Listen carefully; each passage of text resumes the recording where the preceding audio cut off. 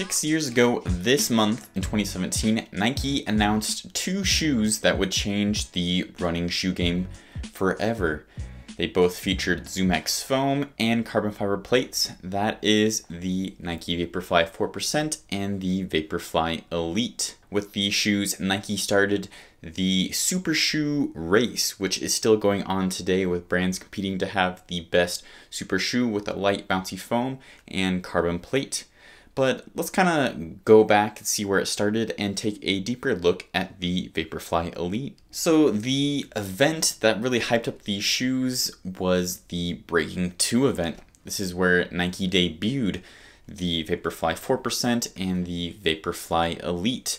The Vaporfly Elite was like their concept racing car that their fastest runners would be running in to try and break the two hour marathon barrier. They wouldn't be available to the public, however, they would be releasing kind of a watered down version of it, which we know as the Vaporfly 4%. Before we dive in even further, let's kind of fill in some more background information about the time. So around 2017, Hoka was starting to get more popular and bringing their maximalist ideas to the running scene.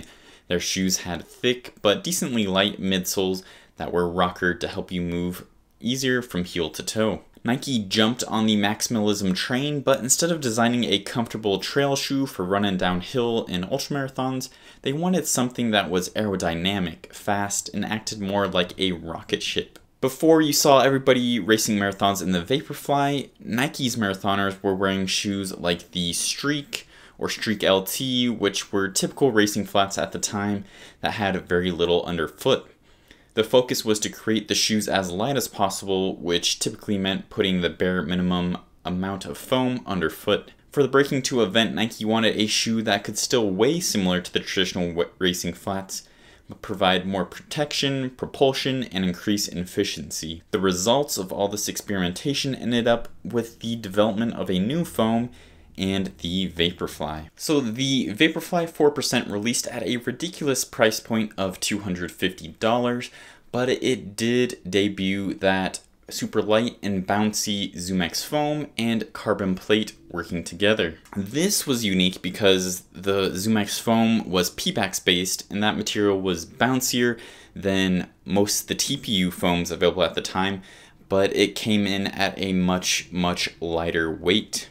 This light and bouncy but unstable foam was stabilized by a full-length carbon fiber plate, and these two elements were found to help increase your running efficiency by 4%, hence the name Vaporfly 4%. So the Vaporfly Elite is where Nike really wanted to go with the Vaporfly, but it still had a ways to go before it was ready for the public. They're hoping that this shoe would be efficient enough to break that two hour marathon barrier. It had even more ZoomX foam, about 15% more to be exact than the Vaporfly 4%, an even wilder looking pointy midsole, and a Flyknit upper. People didn't know it yet, but it was even more efficient than the 4%. Like I mentioned earlier, Nike wanted a shoe that was light and aerodynamic, but after testing they found that adding more and more of the ZoomX foam made the shoe more efficient. This is how they came up with the iconic pointed heel.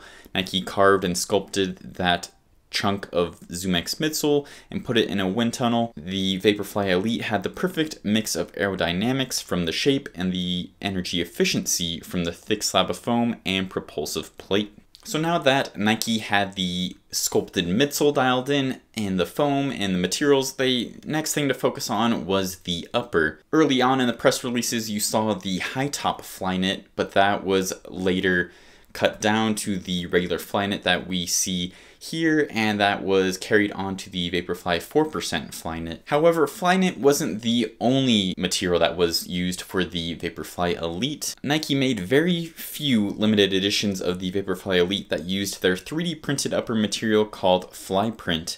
It was super lightweight, but also breathable and strong.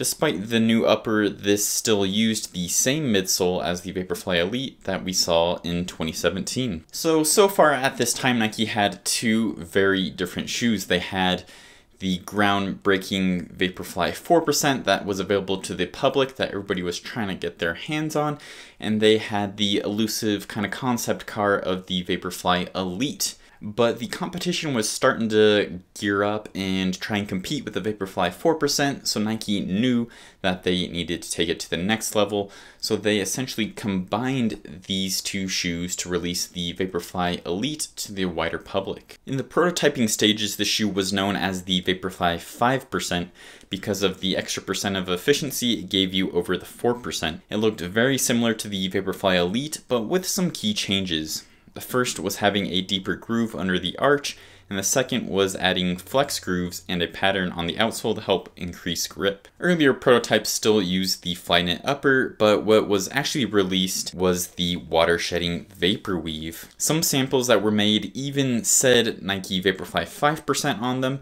but in the end they decided to land on the Vaporfly Next Percent as the name since the science behind the shoe showed it could help with efficiency greater than the 4%, but not necessarily to the full 5% for everybody.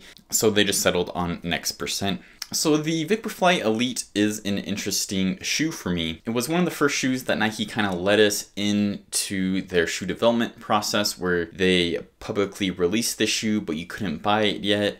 It was still kind of working things out, and then later on they released it down the road and it reminds me kind of like what car companies do with their concept cars. You know, they show off this cool, groundbreaking technology early on, but it's going to be years before you actually get it. So up until Nike's latest Vaporfly, the Next Percent 3, that just came out in some parts of the world, Nike pretty much kept the same design for five years. From that first Vaporfly Elite to the Vaporfly Next Percent 2, like I mentioned, they're just pretty similar ideas, pretty similar midsoles, just a few changes here or there. So it's nice to see that the upcoming Vaporfly 3 is going to change it up and introduce some new changes that we haven't seen in a long time in the Vaporfly. So thanks for watching. I hope you learned something. I do plan on making more videos like this that go in depth on shoe history, taking a closer look at prototypes, and just talking more about shoes and their development. Let me know if you do like these videos want to see more of them, or if there's any shoes you want me to talk about specifically. Thanks for watching, and as always,